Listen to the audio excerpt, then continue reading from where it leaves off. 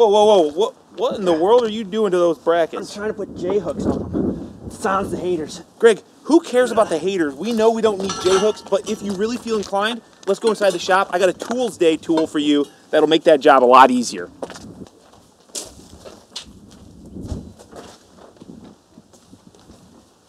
All right, buddy. So that rebar bender is great if you're going to occasionally bend rebar and you like physical work, which I know you're I- all about. Yeah, I don't. No, you are all about it. So everybody kind of knows how a rebar bender works. You've got these three little, and this is a manual rebar bender. You've got these three little uh, bars, and as Greg was, you know, showing, you can put this on the ground, do a lot of leverage, do a lot of bending. Put a lot of work into it. It's a lot of fun. Well, let me show you a tool. It's gonna make this a lot easier. You might have to help me pick this up. Yeah, yeah, let me help you.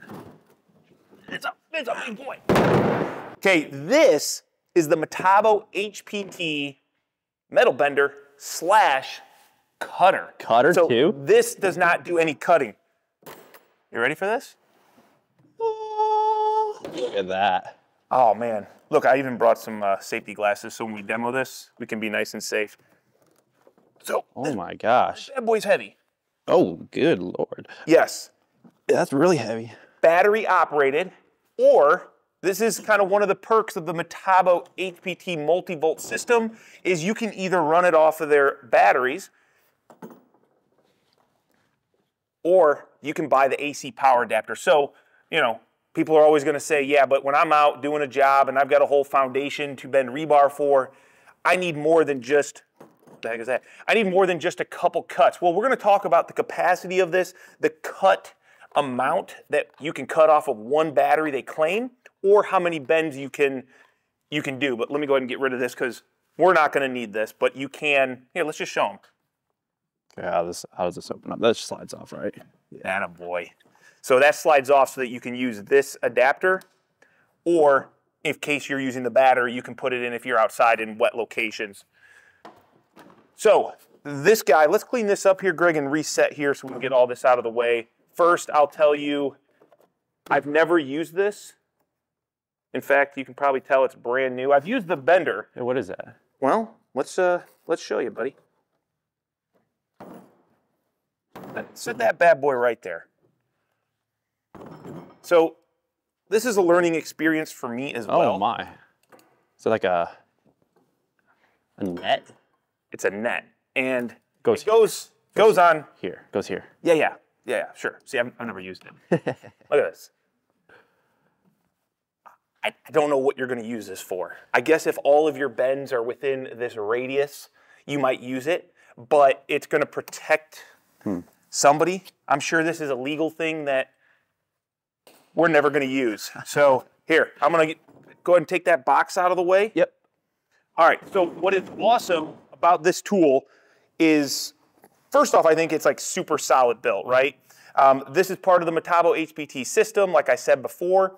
And with this tool, you can bend and cut number three, number four, and number five rebar. Now, do you know what those sizes I are? I have no idea what those sizes are. Lucky for you, I do, and I'm going to tell you. All right. so what Greg was bending um, outside, he was trying to bend a number five rebar, which is a 5 8 inch rebar. Greg, grab that guy right there. That is what you were bending outside. Now, this is a pretty substantial piece of rebar. Uh, that's a number five, and then this right here is a number four, which is going to be half inch, and then you go to number three, which is three eighths. This guy can do all those. It can bend and cut them, and in fact, it will cut three pieces. Sorry, uh, you might be able to cut three, but they claim it will bend up to three pieces of number three at once, two pieces of number four at once, or one piece of 5 eighths number five. Now, obviously, it's going to cut all those. Um, what's really cool is, you know, you had to manually kind of figure out where your angle was. Yeah, I wasn't good at it either. You don't have a lot of experience, bro. You could be great at it. I know that. This right here, you have a dial, and we can adjust and change it to the exact degree of bend, which we're going to show you very quickly. Now, you might be asking, because we kind of talked about it, how many cuts, how many bends are you going to get on one battery? Well, Metabo claims, and I've never, you know, put it to this amount because I've never had to do this much at once,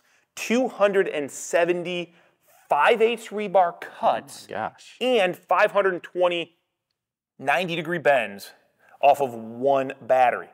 I'm not sure if that equates exactly to triple the amount of bends if you're using uh, three number threes at the same time, but that's a lot of bending and cutting. And if you really needed more, you can get the adapter, but I don't think that's really necessary for, for what most people use case is. All right, now I know you guys want to see this in action, so we're gonna do that, but first I wanna let you know that this is not a cheap tool you're not going to, Greg, probably want to buy this if you're just going to randomly try to silence the haters with a couple rebar bends on the end of our brackets. This is like a $2,400 tool, but it's one of those tools that if you're in the business of bending rebar, doing concrete work, form work, you know, working in that industry, it's invaluable in my opinion because anytime you can reduce the stress and the load off your body, make it easier, quicker, and with all of these beautiful, um, you know, selectable degrees, it's precise every time. You don't have to be a skilled laborer. You just need to be able to put it in here, as you'll see, and do your work. So let's go ahead, set this up, and we're gonna bend and cut some number uh, four rebar, and then we're gonna put a couple J hooks on the end of our 5 eighths number five rebar so that we can uh, silence those haters out there in the social media world. All right, let's go ahead and get this out of the way first, Greg, because I think this will be an easier way to demo with just this guy here. And what we've got, let's let's show this in action first. So I'm gonna pull the trigger. I've got it set at 90 degrees, but we're gonna go ahead and just go all the way to 180 just so you can see it. Hello.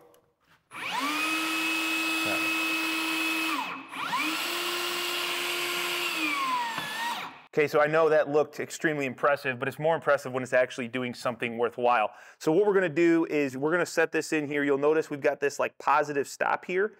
That is kind of like your little nub on your manual um, bender. And then this would be like your other nub. Instead of you having to physically tilt this around,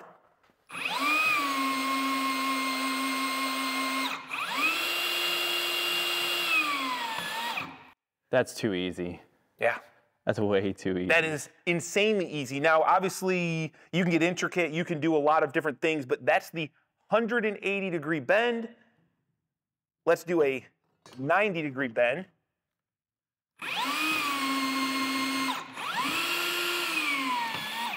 So, where's that? Uh, yeah, where did. I don't know. We had one that we were playing with. This, uh, is this it? I don't know. No, that's not it. That's not it. But that is a nice, perfectly tight 90 degree bend. It's not as easy to do with something like that. Now, there are other manual rebar benders out there that you can get. Ooh, feel that. It's a little warm. That's a little warm. Oh, yeah. Yeah, from the metal bending.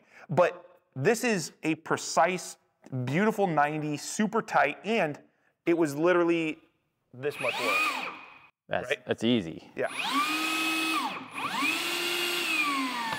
So we've got all the different degrees. We've got 0, 45, 90, 135, and 180. Um, and then you've also got this little selector here that says cut. So that's the beauty of this. Not only are we going to be able to bend our rebar, but we flip this little guy here. It's bright yellow for safety because you want this closed. Oh, that's where it's Yeah. at.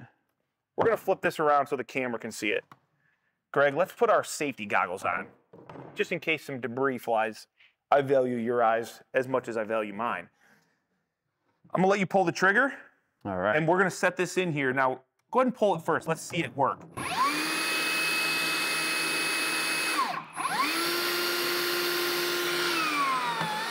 So it's still doing a full 180 degree turn because that's probably the leverage point, uh, and how much leverage it needs to turn that. But now we're gonna go ahead and let's just set this in here. Go ahead and do your cut, man. Are you ready? Wait, wait. This is actually how you do it because you're not always working in small pieces of rebar. You might have a 20 foot piece that you need true. to cut down. Go ahead and cut it.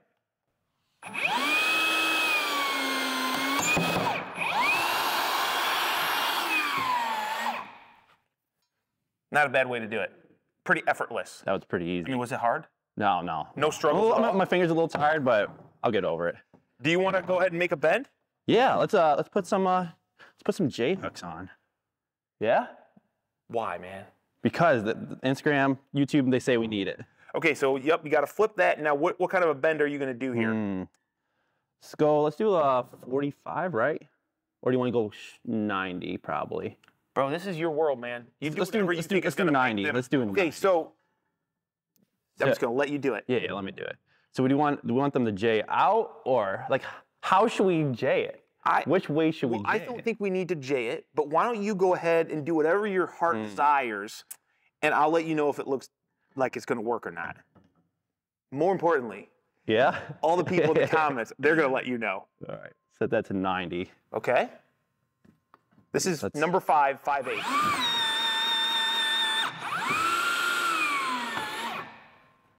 I think we need to go a little more, don't you? I don't think so. Well, yeah. Let's t- tell you what. Let's go a little bit more. Wait, what are you gonna do? Why would you go more? Let's, let's go. Let's go 180. I think that's what we need because it needs to be a J. It needs to be a J. Okay, fair enough. I respect that. Look, look at that. Now we got ourselves. That would be like an R. a J hook.